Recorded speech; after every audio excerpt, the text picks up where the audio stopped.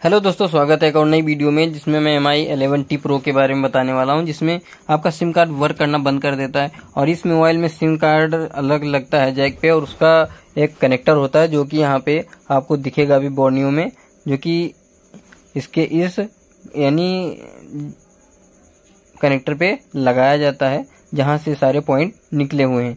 इस पॉइंट पे लगाया जाता है। हमारा सिम कनेक्टर। अगर सिम वर्क नहीं कर रहा है तो उसके लिए मैं आपको बोर्नियो दे रहा हूँ।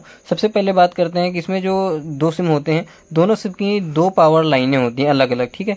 जो रेड कलर में आप देख पा रहे हैं, एक ऊपर के साइड में, एक नीचे की साइड में। और ये साली लाइनें कौन सी कंपोनेंट से होके कहाँ से कहाँ तक जाती है और कहाँ से कहाँ तक आती है। और इन पे जो हमें वोल्टेज देखने को मिलते हैं, वो वोल्टेज आने चाहिए।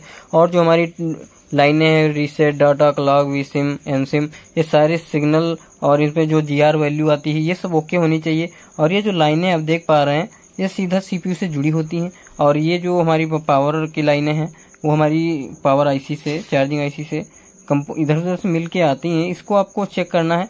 और आप इसमें आपको दिख रहा है क्लियरली कि कौन सी लाइन कहाँ से आई है, कौन से कंपोनेंट से होने के बाद में आई है। ठीक है दोस्तों? तो इस प्रकार के मैं वीडियो लाता रहता हूँ बोर्नियो आपको देखता रहता हूँ, जिससे कि आप मोबाइल आसानी से रिपेयर कर सकें।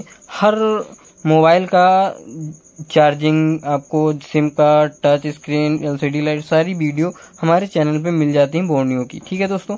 तो जो लोग हमारे चैनल पे नए हैं, वो चैनल को सब्सक्राइब करें और हमारी अगर वीडियो से आपको हेल्प होती है तो वीडियो को लाइक करें, कमेंट करें। ठीक है दोस्तों? और ऐसी हम अच्छी अच्छी वीडियो लाते रहते हैं आप लोगों के लिए। तो ये सारे कंपोनेंट आपको चेक करने हैं यहाँ पे। और जो लाइन कहाँ से कहाँ तक जा रही है वो भी आपको देखनी है, जिससे कि आप मोबाइल आसानी से रिपेयर कर सकें। ठीक है दोस्तों? मिलते हैं नेक्स्ट वीडियो में। तब तक के लिए टाटा बाय बाय